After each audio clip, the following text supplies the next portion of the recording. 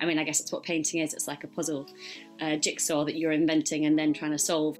Colour something that I also am trying to find out more about at the moment, I think, in terms of it, because it is so intuitive, it's interesting to question that process. Like, how could I make it more conscious or more deliberate?